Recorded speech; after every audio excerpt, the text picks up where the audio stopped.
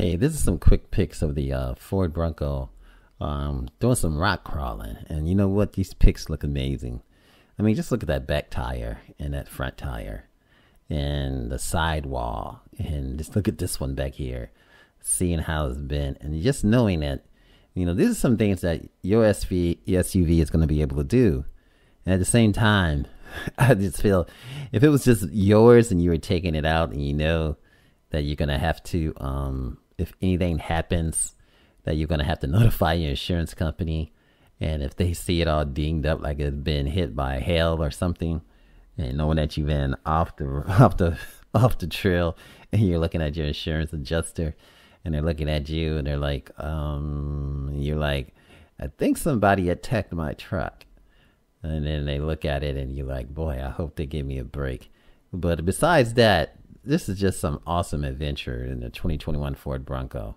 I mean, look at that baby sideways, and then you know, you be in my mind, I'm thinking, will it flip over? But you know, it won't because it's designed and engineered to do that, and it just before it went through this water, and now it's going over here sideways. These are from Bronco Nation, and these are just some awesome pics, folks. And this is just this is it doing its business and how one tire is raised, and actually, what's happening here is the um if it has to activate the uh, uh, different systems in order to function properly off road, which is just awesome, especially when you're in the um, the crawl mode. Mo- perhaps you can be in a cruise control for the rock crawl, which would just be awesome.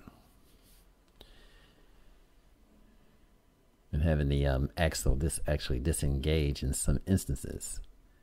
And this is uh, the Ford Bronco going through the Moab testing. And just look at that. I remember a long time ago, I went off road once, and actually, it was quite invigorating to go off road in SUV. Look at all the scuff marks that they have on the bumper, and uh, you know how they have the rock rails and how they're all scuffed up. And they'll, I mean, when you have your, uh, when you uh, decide to uh, clean your Bronco and actually make it look really nice and shiny and clean, uh, you ain't gonna be able to, it ain't gonna be shiny and clean no more after taking it through that. Look at all the skid and all the marks and all that, you know. But this is just awesome that Ford is taking it to the extreme.